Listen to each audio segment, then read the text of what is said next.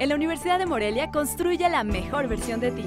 Estudia tu carrera en tres años en las áreas de la salud, humanidades, económico-administrativas, videojuegos y arte digital. udemorelia.edu.mx, teléfono 317-7771.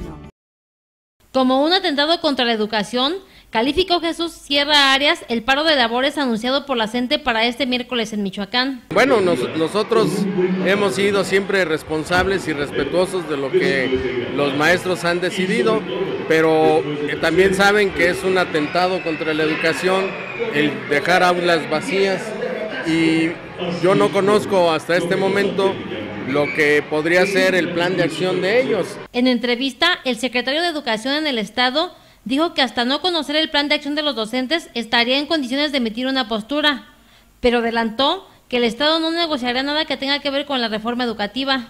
Es una decisión de la federación, la Secretaría lo que tiene es la obligación de cumplir con la norma y aplicarla de acuerdo como está establecido en cada uno de los transitorios para efecto de que se le dé operatividad a la misma.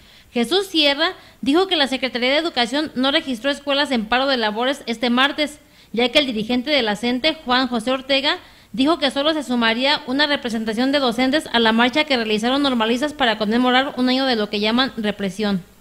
Para Cuasar TV, Sandra Sáenz.